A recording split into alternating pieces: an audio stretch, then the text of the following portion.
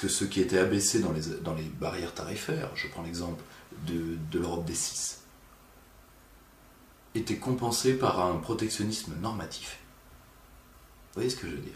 C'est-à-dire la petite guerre des normes. Quand les Anglais sont entrés dans le marché commun, c'est un exemple qui me fait tellement rire que je le reprends à chaque fois. Vous savez ce qu'ils ont changé? Leur voltage.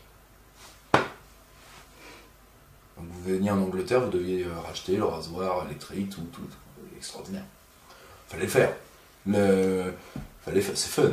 Le... le- Mais bon,